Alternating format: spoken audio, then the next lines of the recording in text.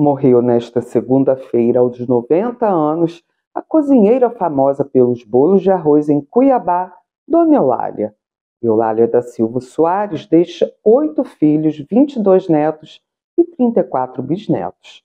De acordo com a família da cozinheira, Dona Eulália reclamou de dores na quinta-feira passada e foi internada neste domingo após passar mal. A causa da morte ainda não foi divulgada. Além do bolo de arroz, ela era conhecida pelo pão de queijo e chipa. A cuiabana mantinha quase 70 anos a tradição do bolo de arroz cuiabano, prato típico de Mato Grosso e um dos principais símbolos da cultura regional. Em 2021, ela foi homenageada em uma exposição fotográfica como mestre da cultura. Cristiane Coelho com informações de Cuiabá para o Boletim 90 Segundos da TBO.